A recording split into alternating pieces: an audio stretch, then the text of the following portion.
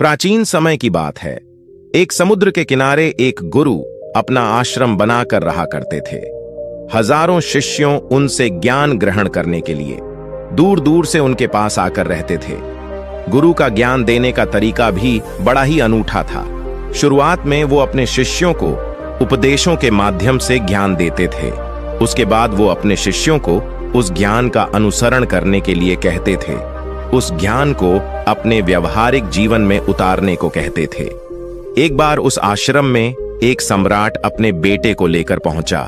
उस सम्राट ने उस गुरु से प्रार्थना की कि आप मेरे बेटे को अपने आश्रम में रहने दें और अपने तरीके से उसे ज्ञान दें। उसे इस आश्रम में बिल्कुल भी ऐसा नहीं लगना चाहिए कि वो किसी सम्राट का बेटा है। उसे बिल्कुल साधारण शिष्यों की तरह ही ज्ञान देने की कृपा करें। गुरु ने मुस्कुराते हुए कहा कि सम्राट ज्ञान इसी तरीके से लिया जा सकता है। अगर तुम अपने आप को दूसरों से बड़ा समझोगे तो तुम ज्ञान ग्रहण नहीं कर पाओगे। अगर तुम्हें ज्ञान ग्रहण करना है तो तुम्हें दूसरों की तरह अपने आप को साधारण समझना होगा। यही ज्ञान ग्रहण करने की सबसे पहली सीढ़ी होती है। तुम निश्चिंत रहो। आज से तुम्हारे बेटे की ज़िम्मेदारी मेरे कंधों पर रही। यह कहकर गुरु सम्राट के बेटे को अपने साथ लेकर समुद्र के किनारे टहलने के लिए निकल गए। आश्रम के बाकी सभी बच्चे उस सम्राट को देख रहे थे। सम्राट अपने बेटे को अपने रथ पर बिठाकर लाया था, जिससे सभी बच्चे समझ गए थे कि ये लड़का सम्राट का बेटा है। इसी वजह से आश्रम के सभी बच्चे सम्राट के बेटे की तरफ़ आकर्षित हो गए थे। जब गुरु सम्राट के बेटे को लेकर समुद्र किनारे पर टहल रहे थे तो सम्राट का बेटा अचानक फूट फूट कर रोने लगा, क्योंकि अभी वो सिर्फ़ बारह वर्ष का था, और बारह वर्ष की आयु में उसके पिता उसे अपने से दूर छोड़कर चले गए थे।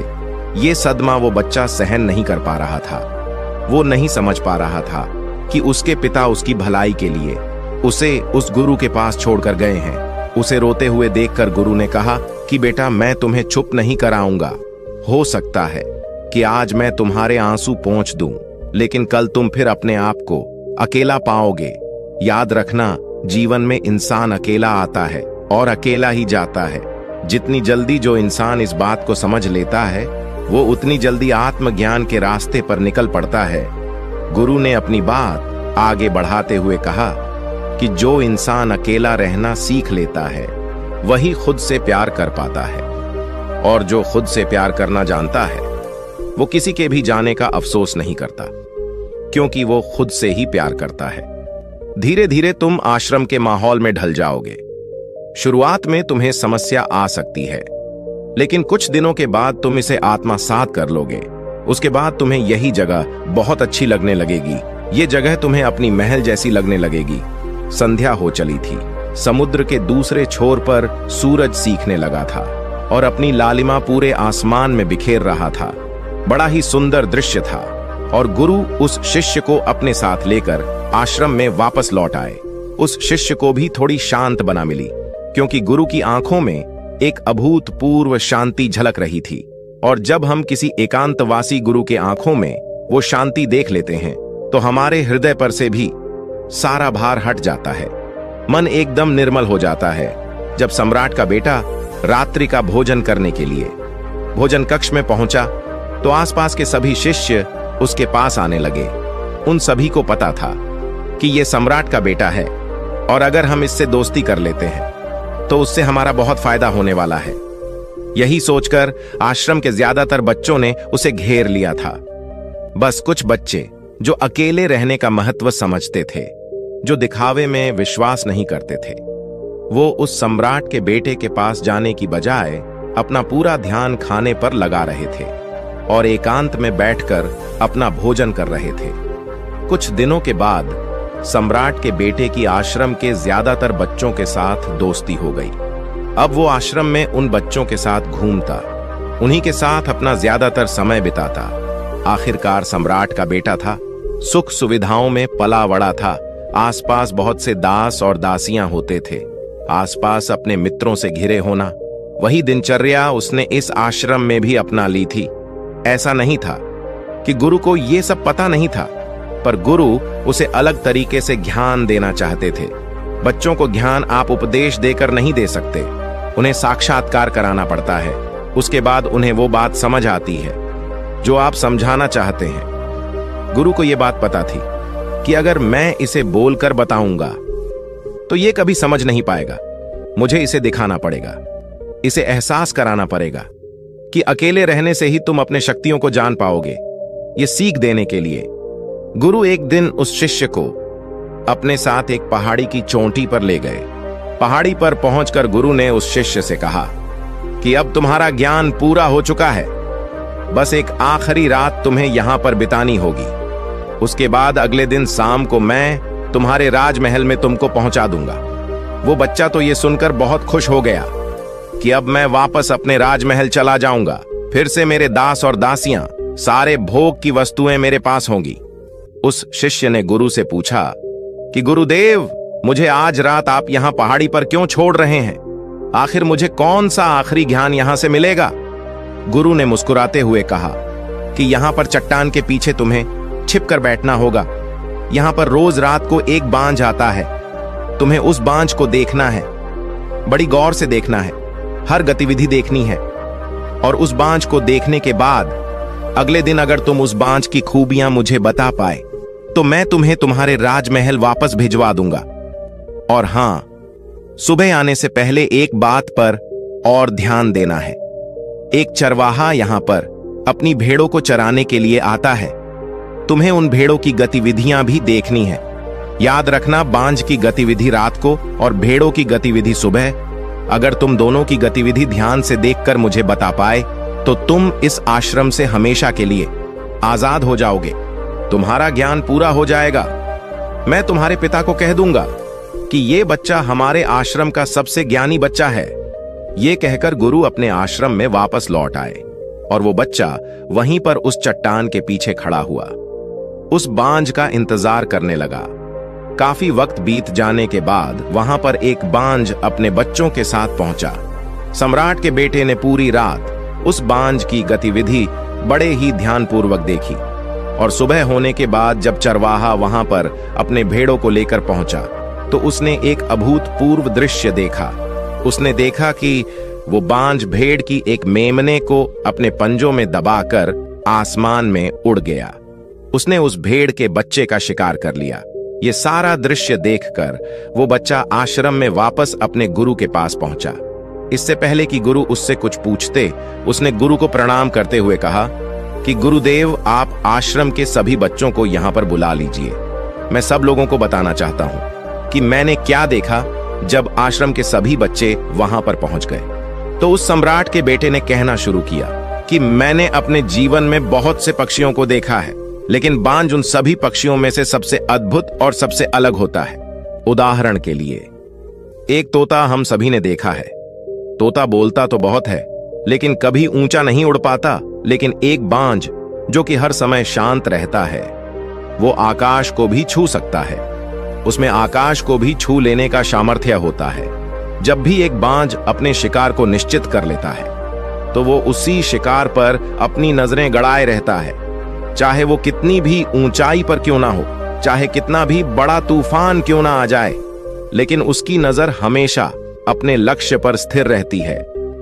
आज सुबह जिस बांझ को मैंने देखा, उसने हर भेड़ को अपना शिकार नहीं बनाया, बल्कि उस भेड़ों के झुंड में से उसने उस भेड़ के मेमने को अपना शिकार बनाया।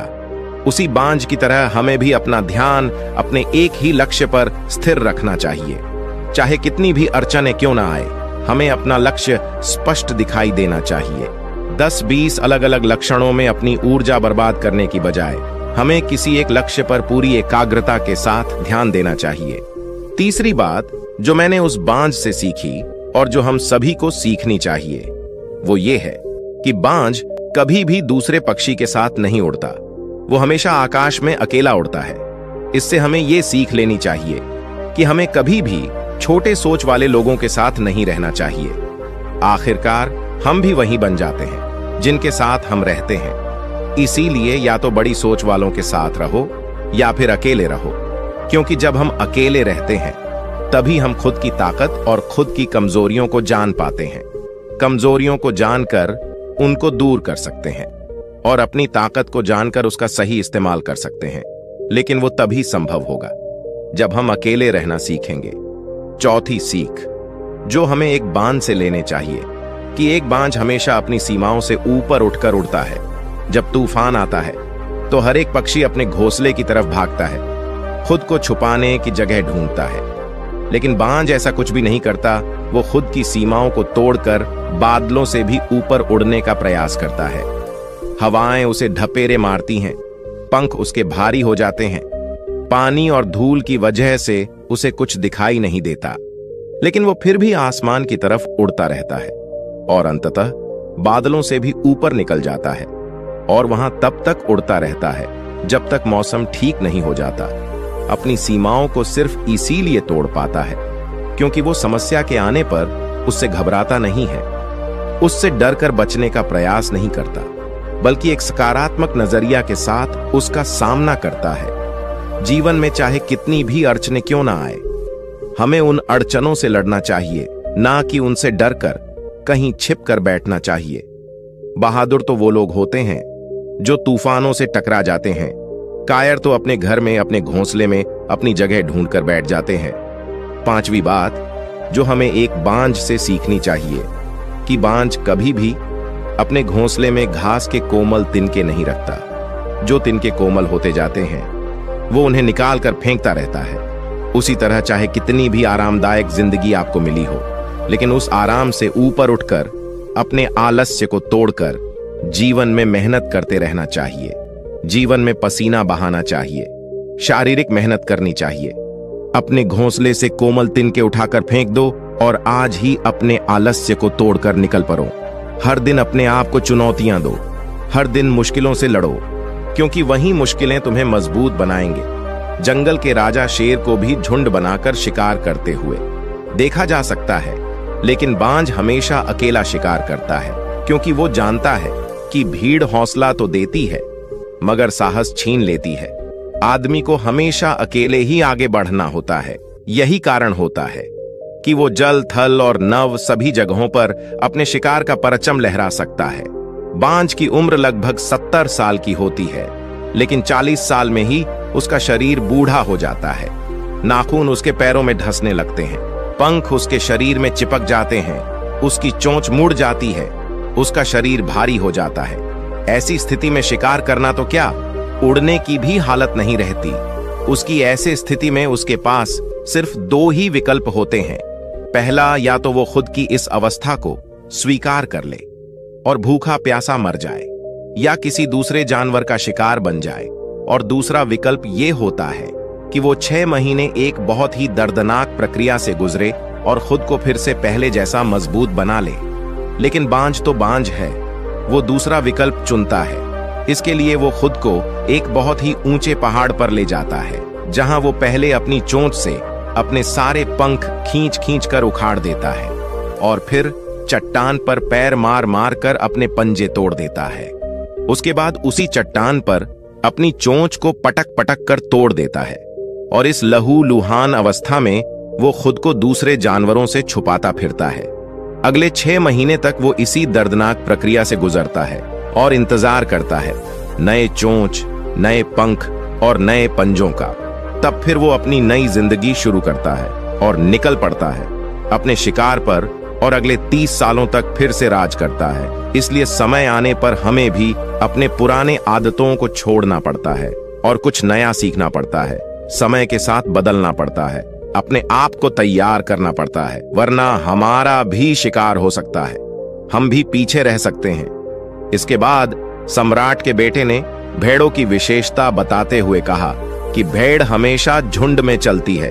उन्हें झुंड में एक साथ चलने से हिम्मत मिलती है। लेकिन जैसे ही उन पर शिकार होता है, वैसे ही वो भेड़ तीतर बितर हो जाती है और उस पूरे भेड़ में से एक भी भेड़ अपने साथी की मदद करने के लिए वापस नहीं लौटती।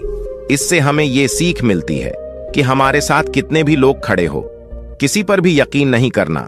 यकीन करना तो खुद पर करना, क्योंकि बुरा समय आने पर वो भेड़ कब तीतर बितर हो जाएगी, आपको पता ही नहीं चलेगा। गुरु को प्रणाम करते हुए। सम्राट के बेटे ने अपने गुरु से कहा कि, गुरुदेव, अगर मुझसे कोई सीख रह गई हो तो कृपा करके आप बताने की कृपा करें।